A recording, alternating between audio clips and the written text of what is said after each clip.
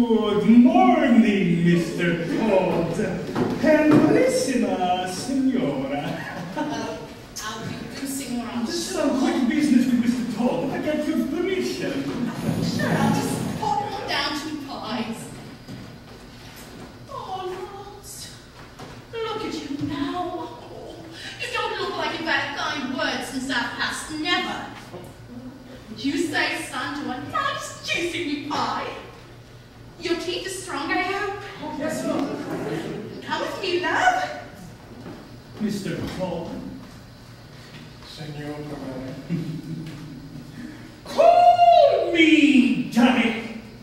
Tell you okay today when it's not um, professional. Not much, but I imagine pretty double bit. I'd like me five quid back, if you don't mind. Why? That's my boy. Tuck in. It'll hold me over till your customers start coming in, and then it'll be half of your profits will be handed over to me every week on a Friday. Share and share alike. All right, Mr. Benjamin Barker. Why do you call me that? At least you've got a nice full head of hair on you. Well, Mum, tell the truth. It's awful hot. Don't remember me, do you? Why should you? I was just some down and out Irish lad you hired for a few weeks, just sweeping up hair and such like.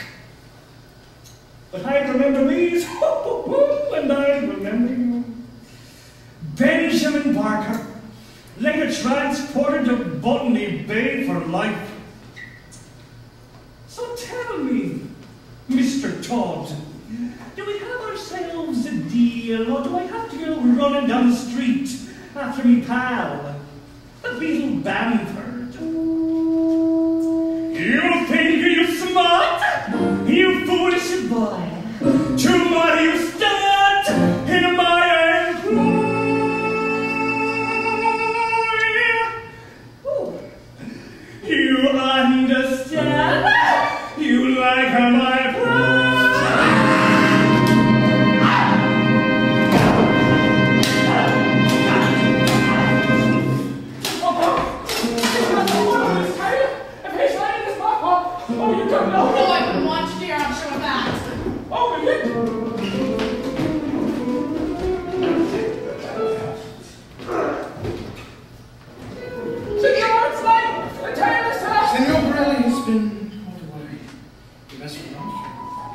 Where did he go? He didn't say so.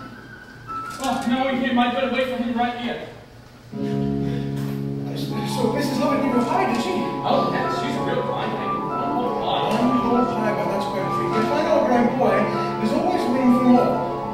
I'd say so, and I you. Why don't you make him downstairs and she'll be able to pie for?